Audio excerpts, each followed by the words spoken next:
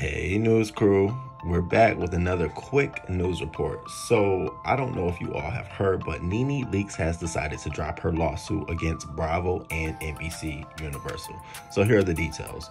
Um, I don't know if you remember this, but back in April of this year, Nene Leakes sued NBC in a Georgia federal court.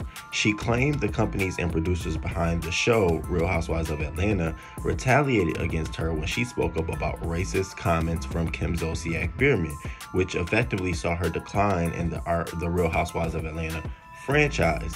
She noted in her federal complaint for years, NBC, Bravo, and True have fostered a corporate and workplace culture that has permitted and tolerated, if not encouraged, racially offensive and insensitive conduct, statements, and actions by their employees.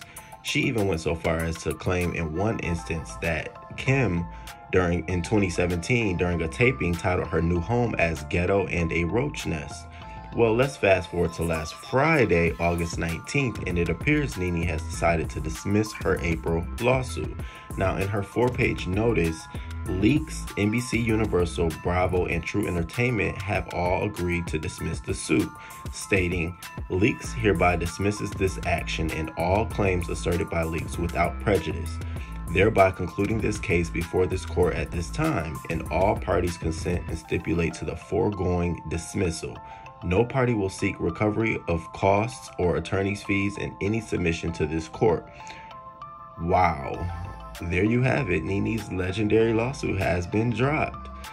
Now, remember back in June, Andy and Bravo filed a motion to force arbitration stating that per contracts, and their agreements existing between them and Leakes, the disputes are subject to arbitration in New York.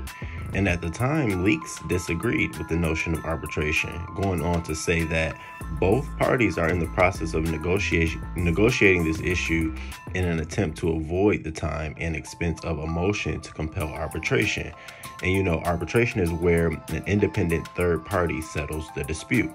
So the judge granted them this 45 day extension to complete discussions until Friday, August 19th. Now, Nene or NBC has made no comment yet about the dismissal. So let's just hope this means we'll get to see Nene back on the TV screen. And I'm really interested to hear what she has to say about this move. Um, I'll stay tuned and make sure you hit the like button, subscribe, and drop a comment and let me know your thoughts. Is this a sign of new beginnings for Nene? Deuces.